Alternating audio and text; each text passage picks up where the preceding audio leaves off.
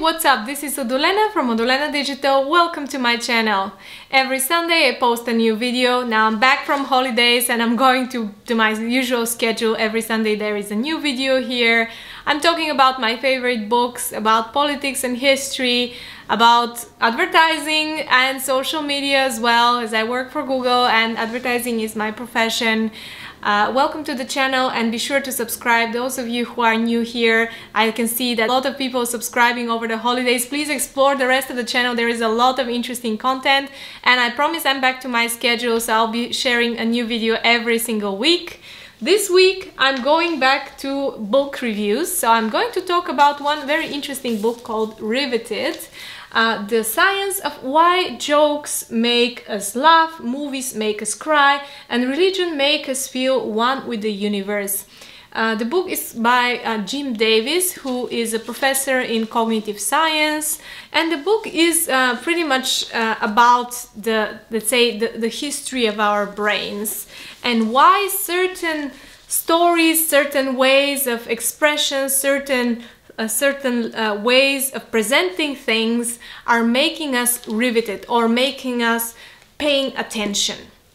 So the book is exceptionally relevant nowadays and I'm going to tie these uh, methods to some of the ways how media and uh, social media and let's say television nowadays is portraying the current events. As we know, uh, 2021 started in a very chaotic way. Uh, the last year has been also full of a lot of different events, a lot of different opinions and uh, we can see how actually media is using these methods to make us pay attention and way of uh, using this book is also for you to understand how not to be manipulated and how to make sure you understand when they are trying something on your brain and they're using this kind of uh, thousands of years old heuristics and uh, principles that you respond to. So rule number one is that we are wired to be social. There is another book about why are we social, uh, which I really recommend you to read. And this is about why actually we as human beings, we are always interested in other human beings and we are almost unlikely to pay attention to a story which does not involve human emotions, human beings. Even when you look at animations and animated characters of animals or objects, they always have a human a human part to them. We otherwise it's almost impossible for us to tell a story a compelling story about an object without giving it some kind of a human form. Or even uh, talking about spiritual beings or gods uh, when you look at ancient mythology uh, these are all uh, given human traits so that we can understand the story and we can pay attention to it. If you look at 90% of literature, visual art, it's all human faces, human bodies, human stories. Uh, otherwise, it just doesn't make sense for us. Here is also another very important part that we like a lot hearing about others, gossiping, understanding what's what's happening, trying to find the moral, how, trying to find how this is applicable to my life. In a way, learning from experience because we are social beings. And here you can see also the power of telling a good story. Every news, uh, great news reporter, every politician, every great speaker is a storyteller. And here is something important to understand. If someone is a good storyteller, that doesn't mean that they are right. It means that they are able to make us pay attention. They are able to make out of the random facts a good story. Maybe they have good language skills as well. That's why we tend to believe more to uh, native speakers rather than to uh, foreigners. So, for example, I have an accent and I can feel sometimes limitations of my language. So when you look at someone who is speaking very smoothly, who's a smooth talker, talks very well, kind of the story makes perfect sense. And when you uh, hear them making the facts together into a one compelling, beautiful, concise story, always pay attention that this might be also a way of manipulating you because we are very good in listening to stories. We tend to believe that stories are true, especially they're about people, especially if they make sense as a logical story, especially if they are combining the seemingly irrational uh, separated events into one big story. This is why conspiracy theories are making so much uh, fans and followers is because people are seeing them as a way of telling a story, as a way of understanding what's happening, and as a way of, uh, let's say, paying attention to, to a story, paying attention to, to an idea. So making sure that you understand whenever you hear a good story, pay attention, this might be a manipulation. Then another one very important one the wizard's first rule is that we pay attention to things that make us frightened. So fear is a very very strong and powerful uh, emotion in us. And then we pay also a lot of attention to stories that give us hope so fear and hope, and you can see this in the media, especially uh, over the last year with the development of the pandemic. You can see how much fear that has been going into the news. Uh, when you look into the news, all the abnormal stories, all the scariest stuff, all the worst things that could happen, the worst scenarios were predominantly exposed everywhere. So you could see fear, fear, fear, fear, fear. Why? Because people pay attention to fearful stories. Nobody is going to look at news about, well, things are not as bad as they look and uh, things are going to be fine. Let's be logical about it. No, people pay attention to frightening things, to scary things. Uh, and then there is the hope element the hope uh, and it's always you can see in the news uh, fear is always juxtaposed with hope. Now there's the fear fear fear fear from the virus and then talks about the vaccine. Oh there is a hope there is a hope there is a hope. And you can see this with politicians as well. There is the fear of the evil politician and the hope of the good one.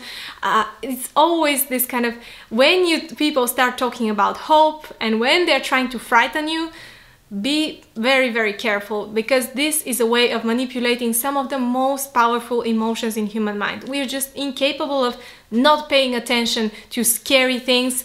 It's almost impossible for us to be unscared once we are scared from something. And it's also very very powerful for us to hear about hope and um, this is also paying, making us pay a lot of attention then there's a few other ones which are very interesting. It's about the the pleasure that we find in patterns, discovering patterns. And this is, of course, in visual patterns. You can see uh, in design, visual patterns are always pleasing the eye, and you can see it from centuries and centuries ago. Uh, the design of, of, patterns, of discovering patterns is interesting. That, but we also like discovering patterns in stories and in explanations. Uh, that's why, for example, most religions believe that anything, any injustice that's happening in the world is a form of punishment. Because then it makes sense. There is a pattern. Then you did something bad, something bad happens to you. There is a punishment. There is a cause and there is a reaction to the cause. So if you look at explanations like this where you have a very easy pattern to find or where you uh, especially in conspiracy theories um, these are ways of let's say someone found the pattern someone found what's going on the secret story the secret line that's connecting all these inexplicable otherwise facts. Uh, be very very careful because these are also releasing dopamine in our brain. So these are also used widely for people to make you believe certain things.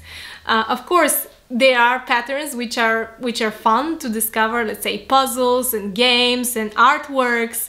Uh, and uh, of course, designers and visual artists use patterns a lot. Uh, and it is a good thing. It can make you uh, release dopamine. It makes you your it's eye pleasing. You can see it in fashion. You can see it in design.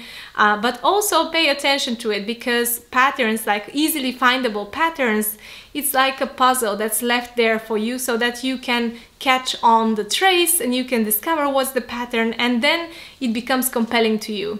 So once you discover the pattern, it's very difficult for you to unpattern it to to believe that this is actually there is not no cause and no reaction.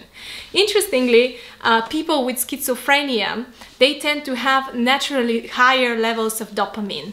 And uh, people with schizophrenia tend to see cause and reaction in pretty much everything. This is why it's very difficult for them to function because they constantly feel that things are connected even like kind of see patterns behind everything. This is kind of like the magical thinking there where you feel that they are the, the trees are talking and the forests are alive and the buildings and everything. It's it's on the border of craziness uh, so levels of dopamine and people with naturally higher levels of dopamine even if they're not schizophrenic they can be perfectly sane. They tend to see more patterns. They tend to see more stories. They tend to see uh, and try to make connections between seemingly unconnected facts. And finally, he talks about religion, and this is a very interesting part of the book. He talks about why actually humans have the necessity of religion. Because if you look all around the world for thousands of years, every single culture has had some form of religion. We are actually in the first moment from history now when they are atheists, that there are people who believe that there is no religion and don't uh, to any religion. And some may argue that atheism is a religion by itself. And certain movements within our society even though that they uh, let's say are we cannot qualify them as a religion they do have the qualities of religions. They have the following they have the rituals they have the connection and even they have the, their holy matras and their holy uh, people uh, we can when you look at um, let's say famous uh, people uh, let's say cults towards celebrities they are they have the traits of religion. So what makes human mind being so obsessed and so uh, seeking to find this kind of this kind of performance of religion?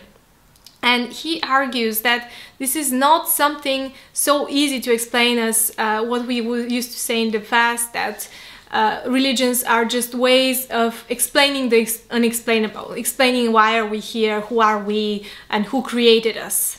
Um, there is more towards it. Of course, there are the myths and the legends. This is another another thing. But the religion by itself, as you can see, that there are some Christians who don't believe in every single fact from the Bible um, let's say they do believe in evolution but they can still be christians. They, they select maybe certain more spiritual parts of, of the religion not the whole explanation of the world creation for example in christianity or in any other religion. You can still uh, have like some scientific knowledge that there there was the evolution there was the big bang uh, but there is something more towards it and this is the spirituality. So why do prayer uh, make us feel good? Why does um, religion make us feel as one of the universe? And he talks that sometimes being a little bit irrational in what in the scientific sense is that to say believing in in god according to science is a little bit irrational.